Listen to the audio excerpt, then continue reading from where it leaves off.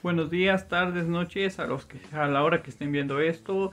Eh, quise hacer un video porque me gustaría grabar, documentar cómo a lo largo de los meses que faltan para que empiece el mundial voy a ir llenando el álbum de la Copa del Mundo. Aquí hoy apenas lo acabo de adquirir. El álbum aquí en México que está en inglés y alemán Tú te preguntarás por qué yo no tengo respuesta, amigo. La verdad es que son dudas. Son dudas que tiene uno y que nunca se resolverán.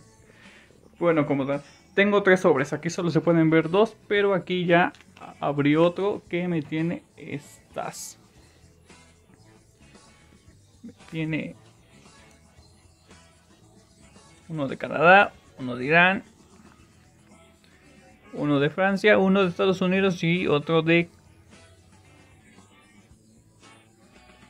Camerún. Perfecto. Entonces los iremos pegando en sus respectivos lugares.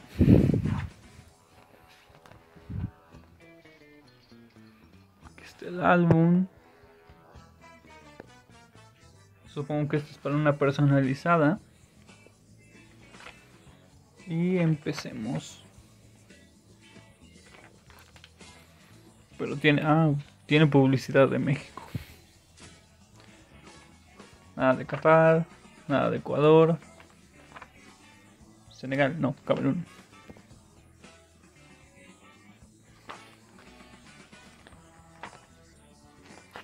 Inglaterra. Irán. ¡Ay! Siento que lo rompí.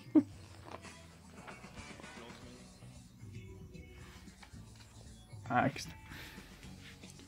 El primero. Zack Stephen.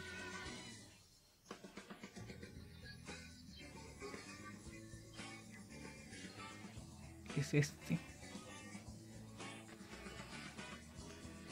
Bueno, quisiera poder pegarlo, pero no tengo dónde sostener con lo que estoy grabando. Entonces... Entonces